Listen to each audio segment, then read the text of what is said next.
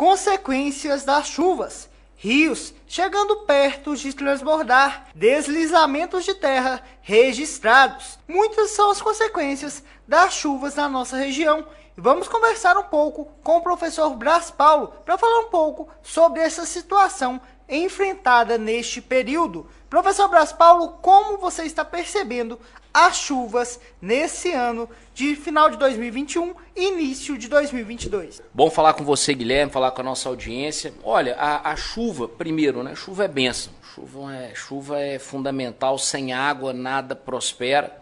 E a gente sabe das dificuldades, principalmente quando você pega aí regiões onde, por exemplo, como Bahia e algumas áreas, inclusive de Minas Gerais, têm sofrido com o excesso né, é, dessas águas, mas ao mesmo tempo nós não podemos deixar de fazer aqui a seguinte menção: fazia muito tempo que nós não tínhamos tanta água aqui na nossa região.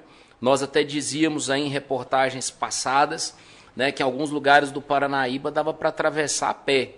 Nós falávamos também da, da baixa quantidade de água né, nos afluentes e do perigo que isso é a médio e longo prazo para o abastecimento da cidade, para a questão do abastecimento eh, das nossas lavouras, da agropecuária como um todo, das próprias indústrias, enfim, é toda uma vida, né, toda uma sociedade que depende da água. Agora, nesse momento em que as águas se intensificam, tem as consequências e é preciso administrar, é preciso que os administradores estejam preparados. A gente está tendo aí deslizamento em algumas rodovias, nós estamos tendo já próximo, né, aqui a Patos de Minas, o rio, ele está quase fora da caixa.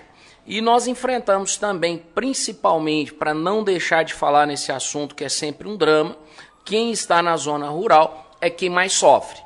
Então tá difícil tirar as mercadorias, tá muito difícil a questão dos caminhões, tá difícil a questão dos ônibus, é dificílimo chegar com os insumos até as propriedades. As pessoas que têm as suas lavouras, né? É aquele velho dilema: reza para chover, depois você reza para não chover tanto assim, porque pode ter várias consequências, principalmente quem tem aí lavouras na margem do Rio Paranaíba. Mas dito isso, a chuva é fundamental, ela é muito importante e cabe aos poderes públicos fazer com que sejam aí os mínimos de danos possíveis, tanto na vida de quem está na zona rural quanto quem está na cidade e competência do Estado e do governo federal, aqueles que estão aí nas estradas tanto do Estado quanto do governo federal, eles têm que ter um mínimo de segurança e algumas estradas realmente não estão boas. A manutenção está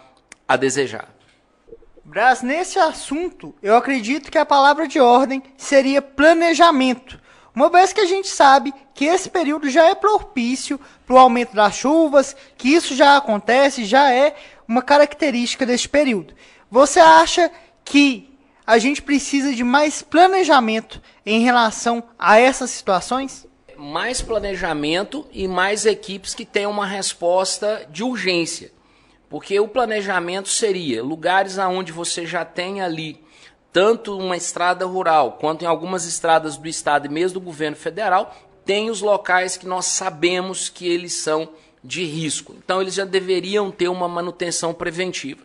Agora, você tem que ter as equipes de ação rápida, ou seja, aquelas equipes que vão atuar nas áreas aonde, infelizmente, de alguma forma, você não tem mais condição de passagem ou que as passagens foram obstruídas. Na zona rural, não fosse o trator amigo, não fosse aí pessoas solidárias é, ajudando a tirar o pessoal do meio da estrada, tem gente que não conseguiria realmente sair.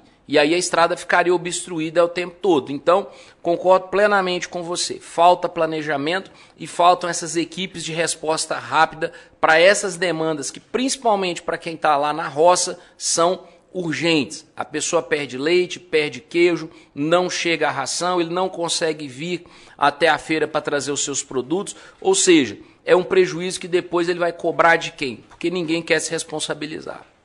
Então, falando sobre a situação das chuvas em Patos de Minas e região, conversamos com o professor Blas Paulo, comentarista do Sistema Clube. Para a Rádio Clube 98, repórter Guilherme Camargos.